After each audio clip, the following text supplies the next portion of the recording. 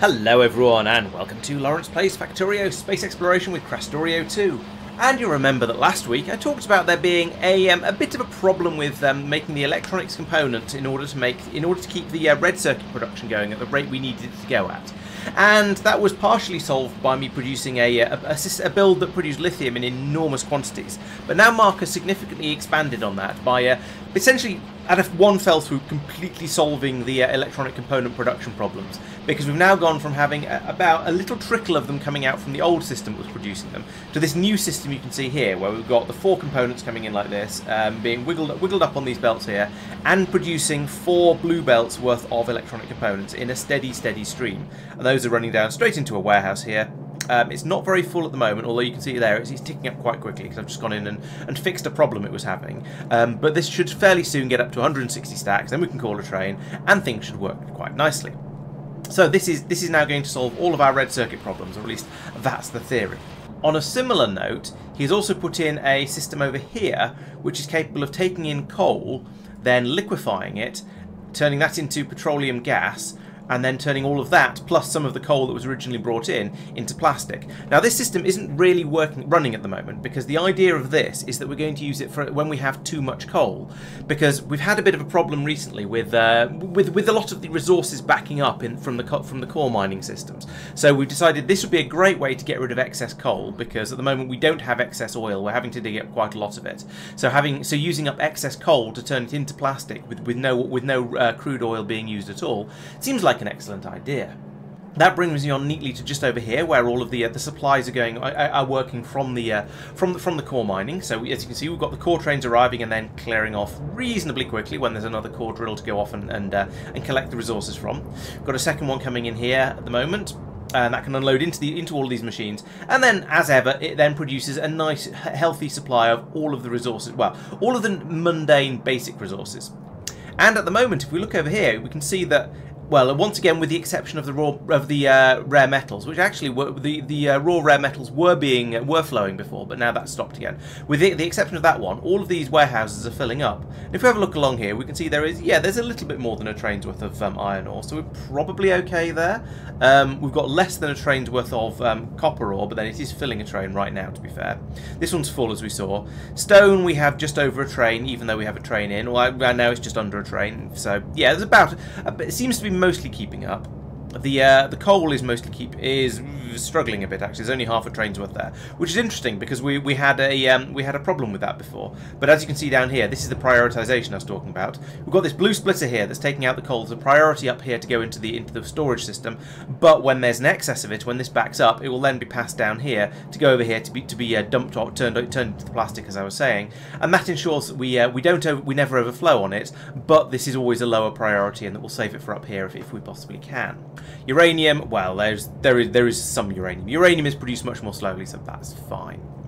But this all works quite nicely because we, we want to keep these being used as a higher priority, and then use the other other supplies if we absolutely have to as a sort of as a as a lower priority supply, just because um, these ones are being produced at a steady steady rate, whereas anything that comes out of a mine is going to be produced in a burst, but from a limited pool, as I've discussed discussed before.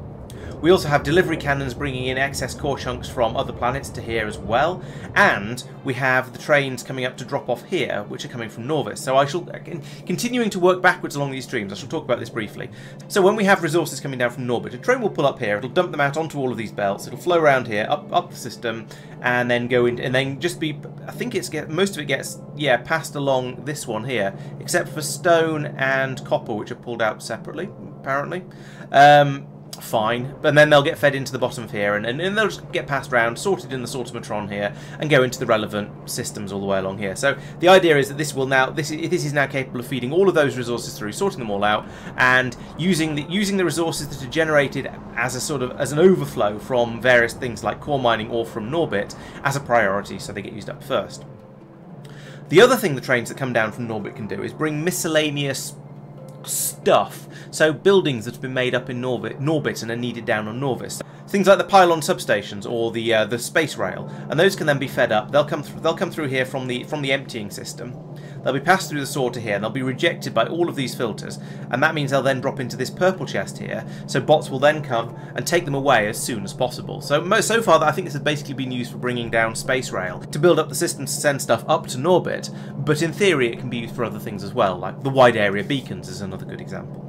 These trains come from all the way from from over here, where they will come flying. Any train that comes out of the out of the space elevator will then go around this rather ugly loop here and go into an unload station here.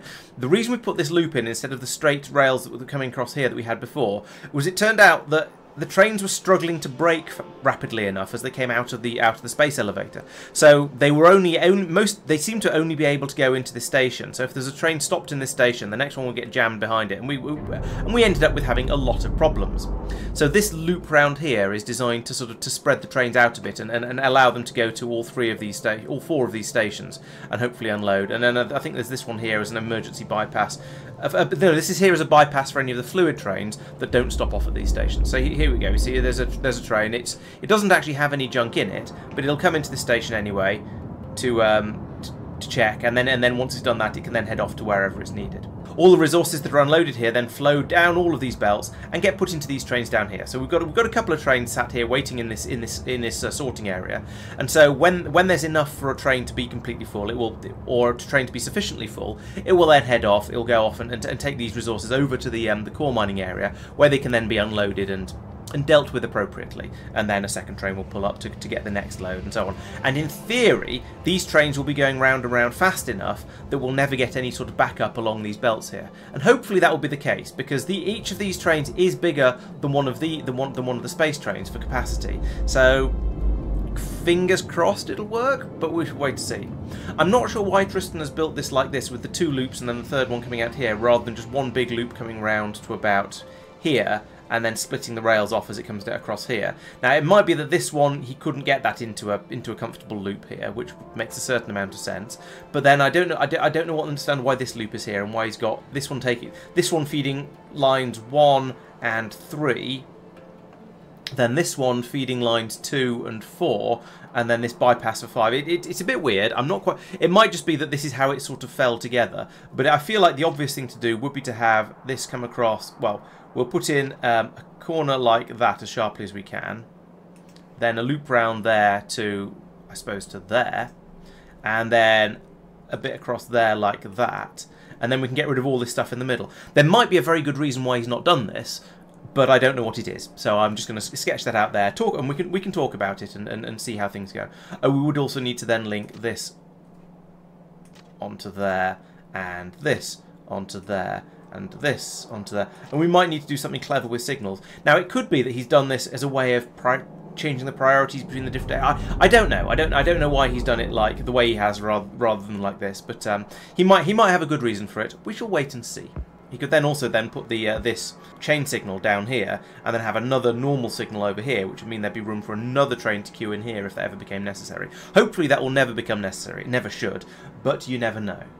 So carrying on back up the chain, let's have a quick look up in in, uh, in Norbit. So the way this system works is we've got a supplier thing here where we have all of all of the um, the junk gets fed into this into this warehouse, which is currently not well. Actually, that is more than a train's worth. Um, we then and then any train that's any train that's going down should, in theory, pull into this station here and be loaded up. Sorry, this station here and be loaded up with miscellaneous junk out of this warehouse. And then once it's idle for more than a few seconds, oh here we go. Here's an example. So this train pulls in here It'll stop in the station, load up with an assortment of junk, and this is all the junk that's coming out of the uh, the scrap recycling over here. So we have a steady stream of scrap coming in. We turn that into into useful ores, feed them over to here, and they can then be loaded up into these trains. You see that's filling up quite quickly. There we go. That's basically full. Um, it's not quite full because some of these stacks, like there's only 30 in that one, 28 in that one, and so on. But that's just how, how it rolls. But then when it's been idle for a few seconds, it can then go off up the um, or down the space elevator, and then when the next train comes in, we can dump some more into that one. The scrap recycling over here has also been expanded. We now have two two copies of this, two sets of rows, and that's because whenever um, Mike starts doing a bit of production, whenever whenever we um, have a material science um, catalogues being made, we get an enormous flood of, um, of scrap coming through, and it clogs up absolutely everything because Mike is building, making stuff incredibly quickly, and then all his machines are going to sleep. So when they're when when they're running, we get the uh, he'll refill his train in in a couple of minutes, but then but we'll get an enormous flood of scrap coming down the system, which we then have to deal with down here. Um, and then once he's finished filling his train up, the whole thing will go to sleep for quite a long time afterwards, um, while we wait while we wait for the uh, all those catalogues to get used up by the science production. I mean, it's not the end of the world; it's just a little bit bursty. The other thing that's happened down here on Nauvis is that Tristan has expanded the fluid passover systems. So previously we've had this system, uh, we had a system down down here somewhere where there was a train coming in that was dropping a, a, a, ground train that was coming in and dropping off light oil and a space train that was picking up the light oil and taking it away. As we discussed last week, we decided that was ugly and a bad way of doing things because it meant the uh, the ground rail was crossing over the space rail and that looked weird and wrong and just we didn't like that very much. So now we've got the system here where the two run along parallel to each other, and so we've got the um, the light oil train here that's, that's where that comes in, stops here, and then we'll unload when there's a, when there, when a space train turns up and needs some light oil. Once it's filled up that train, it'll clear off and can then come back with some more oil for the next one. And that has been expanded out, so we've now got heavy oil here. We've got water here as well, which doesn't seem to have a train for some reason. I wonder if there's okay, there isn't there isn't a train bringing water over here yet. Um, I guess that's fair enough because we don't need a great deal of water up in space, and what we do need, most of it is being supplied from ice. Um, although some of that's being sent over by delivery cannons. So we should probably start supplying water to the recycling area at some point. Although that said, I've just noticed there is a pipe coming across here uh, from from a pump over here. So actually, I take it all back. This station is being filled up with this tank over here um, by that pump, so that we'll pump the water from there along these pipes and straight into the train that way. So okay, I take it all back. That there is there is a train that is um, there probably is a train that's doing this. If not, the system is ready and working. But then we've got heavy oil, light oil, petroleum gas, because those are all needed, and lube as well, because that's needed. And over here, we're treating them, treating it sort of like a liquid because we get through so many red circuits up in Norbit. So again, Tristan decided that it would be a good idea to have a train dedicated to those, and so he's, set it up like this, so that the a, a train will come in from the red circuit production area, and we could do with one at the moment actually. So presumably over here, yes, we have a train limit. Oh no, we have a train limit of zero. That is not 160 stacks, so this number is clearly wrong. And here we have divided by 16,000. We're putting in a 30,000 one of these numbers is wrong. Let's let's let's change numbers at random and, and just to, just to make the thing work, and then tell Tristan that it's broken in, in, in uh, after the next video. So there we go. Now there is a train coming out from the red circuit area. It will come over here. It will unload into these purple belts very, very quickly because we've got eight purple unloaders uh, unloading here and dumping it all into here. The uh, the space trains don't fill up quite as quickly because there's only four pushing them back across here, but it'll fill the train. But, but then it will fill a space train up when it comes down here, and the space train can then skedaddle up the uh, up the elevator as we've seen a million times before. This particular one goes to down here. Uh, where we where we're unloading into this into this warehouse, and as you can see, we've got another uh, once again, we've got this time we've got 10 belts unload, uh, unloading, so we're unloading really, really quickly, or trying to. And that's all dumping into this this uh, warehouse here, and they're then passed up into the, and this is going into the, um, the the memory card production facility because we have a severe problem with memory cards, and this happens because every time you set up a new type of science, you put an enormous load on the memory card uh, system. We've also got a bit of a shortage of the um, of the of the uh, substrates coming through from here as well. So I think a trainer's been in fairly... Yes, the train must have come in relatively recently, unloaded a load of substrates. They've all been dumped down here, and now we've run out of them again because you get through them so quickly. But the idea of this is that these then get these then get polished and um, fed into these machines, which will then churn out, in theory, a solid space belt of um, which is 45 per second. Yes, 45 per second of these, uh, which will then flow down here and go into the storage system. So over here we now have well, it's, it's not it's not a train's worth yet, but it's it's more than half, so it's getting there. Um, and the trains keep coming out here, grabbing them all, and then taking them away again.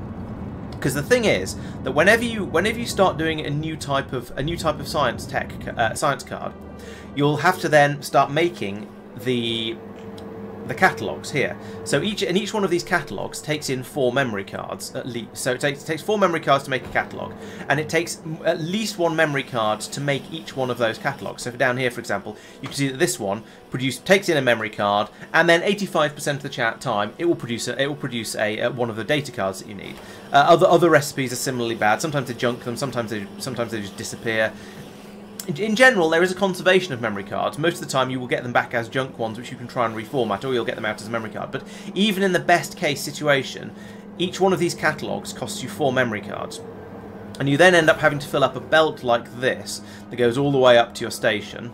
That's quite so that's that, there's a lot in there. I wouldn't like to say how many, but there's quite a lot. Then we're putting in in um, how many how many is it into each of these? We're putting in then in a thousand into each of these uh, warehouses here. So that's another two thousand uh, catalogs, which means another eight thousand um, memory cards. Then we're trying to unload another another thousand, another eight thousand up here. So that's sixteen thousand already plus um, the ones that are on the belts here, plus the ones that are in the train, which is another 500 of each one. Um, so that means another 2,000. So what are we on now? That's about that's about 18,000 memory cards. Um, and then there's a load on the belts over here as well, and then some of them some of them get some of them get made into um, into, into the insights, which where it takes. Um, to be fair, it takes a fraction of a, of, a, of, a, of one of those to make an insight, um, so that's not too bad. Then those get fed up into these machines, where I think each significant data is it counts as at least one data card. Um, so yeah, there's a lot of there's a lot of buffers to be filled up. So you're looking at probably put, need, needing to pull in about 20,000 memory cards each time you put, you produce a new tier of science pack. And so because we've got um, we're on tier three for most of them, and Mike has started expanding onto tier 4. So I think between us, um, we're on about 12, 12 different tiers of science. So that means we've taken, we've pulled in 240,000 memory cards just into all of these buffers that are made up of um, on, on, on, in, in these warehouses. That's quite a lot, so you can see why we've been struggling to make enough of them. But the thing is, once you get your science up and running and get it, get it flowing, once you're doing the science, you tend to get a, a decent number of memory cards flowing back along the um, along the bus along here, uh, like that, for example. So you can see there's a huge flood of, of, of, data cards there. I'm not quite sure exactly what produced them. I would guess it was some significant data being generated, but I'm not sure. But you get, yeah, so you get these huge floods of memory cards, and then, so we're then pouring quite a lot of them. You can see a trickle of them down here. They all come down here and get fed back in and recycled, re looped around and recycled. So in theory, once you've got science, science packs up and running, yeah, you do still need to make some more memory cards, because some of them do get junked, but you shouldn't need to make anything like as many. You should get most of them back. It's just those steps where you're trying to fill up the buffers that's really, really hard. I mentioned the junk data cards. Those, of course, come back around here and are fed off down this way like this, where they go into these supercomputers, which will recycle them, and sometimes, sometimes into good memory cards, which we can use again, sometimes into broken memory cards, which we can't use again, and just have to turn into scrap down here. So, yeah, it, we, we, we get through a lot of memory cards is what I'm trying to say here. Continuing with the general theme of getting resources to, to where they need to be, I realised that I'd stopped supplying the um, the space bus with uh, the various types of modules, and those and, and these modules are needed for um, for making all the some of the different science packs. So I think maybe the productivity modules are required for production science, speed modules are required for uh, or uh, for utility science, or maybe efficiency ones are required for utility science. I'm not sure, and then one of them is needed for one of the enhancement science packs as well. So these were previously, when we had the, the, rocket and train system over here, they were being brought into these stations, this station here, and dropped off and chucked into the rocket that way. So we bring up an entire train load at a time, which was fine. It worked. So we had these trains up here that were uh, that were that we had some trains that were stopping off up here, and then we're bringing them down here and dropping off here. So once we removed the rocket, that of course stopped working. So we needed to then reprogram those trains to go somewhere else. First thought was, well, we'll just add them in up here, put in a few extra stations, add in the belts, and oh dear, it's all a bit full, I don't think we can do that. So I decided that good, a good thing to do would be to put the stations down here. So we've expanded a little bit further down. We've now got this new drop-off area where we've got, currently we're using three of the stations here for the three types of modules, boop, boop, boop. And then I put in a load more because why not, essentially. Uh, there seems to be a little bit of stone on this one. That must have been some stuff that was just left on the floor when the building was done, which is a bit unfortunate. I wish the game wouldn't do that. We'll have to clear, clear, clear that up at some point, but um, not right now.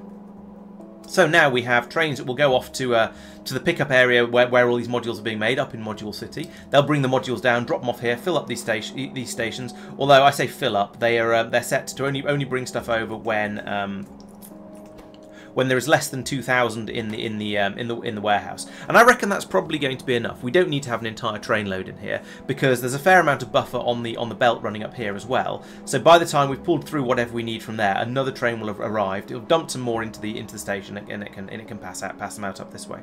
Uh, for other other resources, we may do that slightly differently, but for these, I think that's absolutely fine. So these belts then, as you'd expect, run up here, come in and join in with all the rest of the belts going on into the into the bus system over here. They get passed through the weird sortimatron system here, and then come up onto the onto the belts up here. So they're just now they are just being supplied like every other resource that gets sent up to sent up to uh, space on the on this system. At the moment, we seem to just have some low density structures that are waiting to go up, which is fairly typical. We get through a lot of low density structures up there. So that means they can be fed up in this in the train that was here and has just finished unloading. You can see all the stuff pouring out here, and then they'll rattle through the through the system as normal, and they can be. Yeah, here we go. So we've got the um, the, the efficiency and the speed modules here, and the production productivity modules there, and they all get passed off down this way and turned into the into the various science packs down here, as I said. And these now actually seem to be, yeah, these are now running fast enough. These are fully backed up after what I was saying last week. So very happy with how this has been going. This just seems, this seems to be great now. We don't, we no longer have any problems, and it's because most, mostly because we've finally got all the resources being brought over here. So of course it's fine. We've actually got the resources we need to get this working. I did need to do a little bit of tweaking over in Module City, and I'm trying to remember exactly what it was that I did. I, I certainly redesigned this station to be the uh, single warehouse rather than the uh, quintuple warehouse design that we had before. Um, I think there was something about it just wasn't calling trains properly, but we hadn't noticed because we didn't need it very often. So it's now, but I've now I've now fixed it, and the train now this train can now rattle between module one pickup and module one drop whenever there's somewhere that's requesting module ones. So that's quite nice. And one of the good things about making all of these extra modules to sort of fill up those buffers down there is that, meant we got through quite a lot of glass. Because as you'll remember from, uh, well, if we look particularly over here, where we turn enormous quantities of glass into the product productivity modules, we turn we don't turn glass into speed modules, but we do turn uh, electronic components into them, and that's another thing that uses quite a lot of glass. So that was quite nice. And there's quite a lot of silicon in all this stuff as well. And so that has been getting through some of those stone backlogs that we had. And if we have a look down in this area again now, in the, in the glass area, before we had something like three and a half warehouses worth of glass here. Now we've got that one in now we've got less than one. That's amazing. So we've got through we've got through nearly all of the backlog of glass. The stone is starting to flow again over here, and as you saw, the stone in the um, in the resource sorting area is now generally quite happy. We seem to have we seem to have got all the supply under all, all the, de the demand is now greater than the greater than the um, the supply of stuff we're trying to get rid of once again. So that's a that's a big relief. We are now able to actually deal with all of the resources we're trying to get rid of, trying to deal with, and even yeah even the rare metals are coming in and getting used up. So that's really nice, and it, it's the best position to be in. If you've got too much resource in areas where it's being produced as a byproduct, it can lead to some serious problems of everything backing up and causing you and causing massive issues all the way back up the chain to wherever all, to wherever very very distant resources are being generated.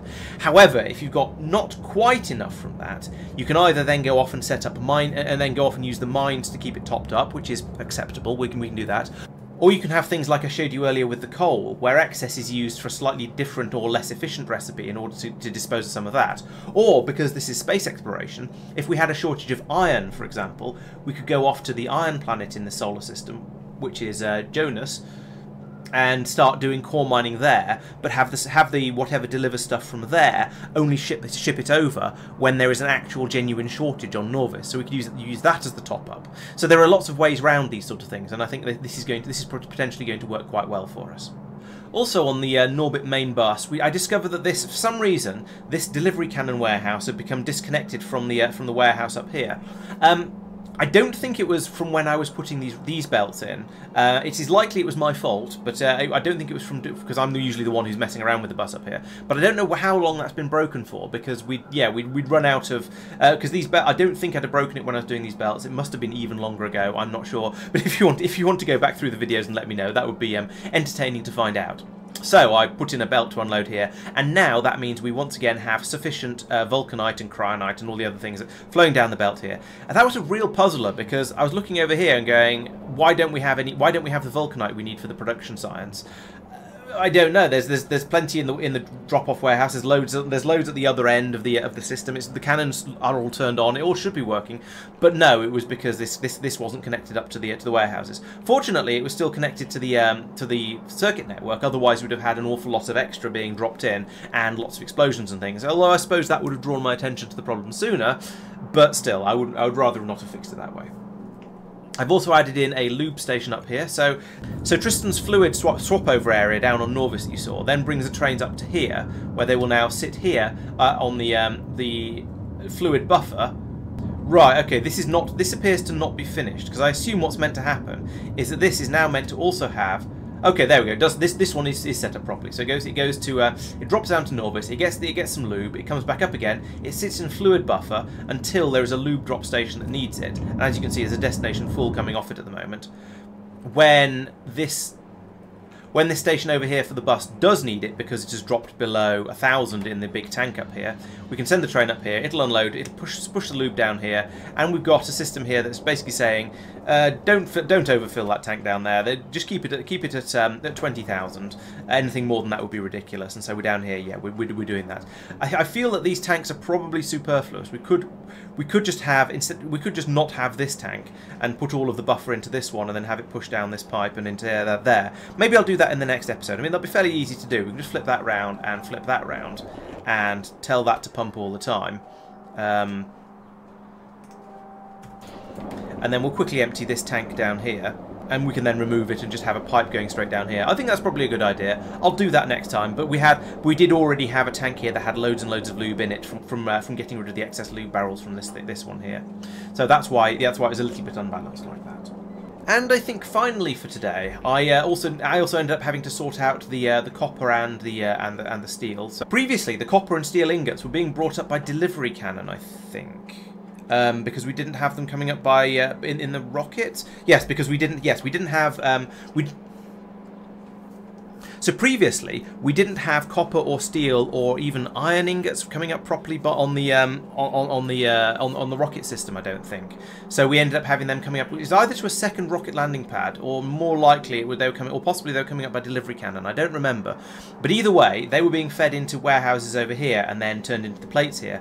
So when we switched over to using the train system that's bringing up everything, and that was then able to do all of the ingots, the ingots were dropping in here and didn't really know where to go. So they were just rattling all the way down into, into the into the systems at the bottom and not getting not getting chopped up and sorted out properly. So now we've we fixed that. There is now a an, an unloader here that is bringing out the uh, the, the copper and steel ingots and putting them into these into these two warehouses over here where they can then be dealt with as appropriate to keep everything over here up to the right supply. This area is, I have to admit, turning into a bit of a mess, but it's because quite a lot of sort of quite a lot of stuff has been implemented a bit late, so it's been put it's been put in after after sort of after the fact. So the original design was quite nice and clean, and then we decided actually we want to do um, we want to we want to keep do something with the rocket parts that are coming up in the rocket as well, and oh we want to do something with the ingots we've just started to send up, and and and and actually, actually that's about all there is. But it's all been it's been cobbled onto the back of it a little bit. Now the rocket stuff can we can probably now get rid of. There are a few rocket bits in here, but I think there aren't going to be any more rockets doing coming, coming rocket parts ending up in here, so we could get rid of that one. Um, this would be quite a good way of just getting rid of them. Then we could demolish all of the rocket part handling stuff around here, which would be quite nice. And um, so, yeah, that would free up a little bit of space. But in general, it's it, it's not it's not too bad. We do have a few little ugly bits, like um, like these belts that go underneath these ones in order to go up to this train system over here. Um, I, I, don't, I don't know why this got designed like this. I can't remember. It was far too long ago. But it is a bit ugly. And then we've got a few other afterthoughts, like this uh, area where we're storing the um, the low density structures in a separate where in a separate storehouse because it filled this one filled up, kept filling up, and the same with the rocket fuel as well. Again, because we just had too much of it. Uh, then for, for some reason I'm putting the um, putting both the uraniums onto the same belt here. That's another slight weirdness. But you know, it all it all comes together and it all does basically work. So I'm not I'm not going to go in and fiddle with it too much. So, I think that's a good place to end the video. I will, be, of course, be back tomorrow when I shall talk about things other than just the sheer logistics and uh, uh, supply situation, because this is all. This has been a bit of a, uh, a one a one note video, I think. All talking, yes, talking very much about just getting getting the logistics up and playing nicely. Tomorrow we've got some sort of miscellaneous plans, miscellaneous fixes, plans for the future, and what's been going on in the science areas as well. Uh, I will, so that'll be tomorrow. There will, of course, be a video, a stream on uh, Monday when we shall be carrying on with our game here and, and sorting out all the problems I talk about in these videos and, you know, trying to carry on a bit as well. Uh, I think supply issues are still a bit of a problem for us, but I think we've got the mundane supplies sorted out now, so we can now go off and start looking at other things. But I'll talk about that some more tomorrow. Uh, Wednesday will be the XCOM stream. We had a reasonably good stream last night, uh, last week, although one person did get killed, sadly. Um, uh, we're going to hopefully will um, things will go a little bit better from now on, but there is still a chance to to uh, send over your soldier design if you'd like to be included. So please do that and Tuesday, Thursday-ish. I'll try and get, I'll try and keep the videos coming out uh, for, uh, on other things as well. Although my current one has been a bit of a bigger project than, than other videos I've been doing um, because it's been uh, rather rather different from what I'm used to doing. Let's put it that way. So yes, there is lots going on on the channel as always. I hope you've enjoyed this video and I'll see you next time. Don't forget to subscribe so you don't miss out on anything and I'll see you in the next one. Bye bye.